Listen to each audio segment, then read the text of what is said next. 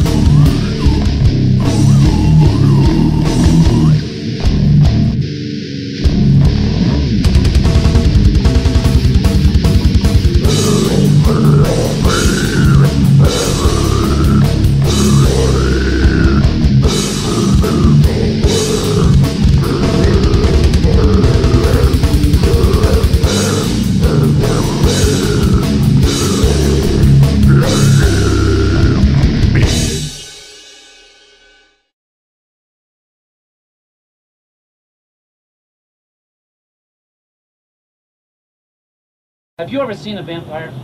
No. Well, first of all, they're not romantic, all right? It's not like they're a bunch of fucking fags hopping around in rented formal wear and seducing everybody in sight with cheesy Eurotrash accents, all right? You want to kill one? You drive a wooden stake right through his fucking heart.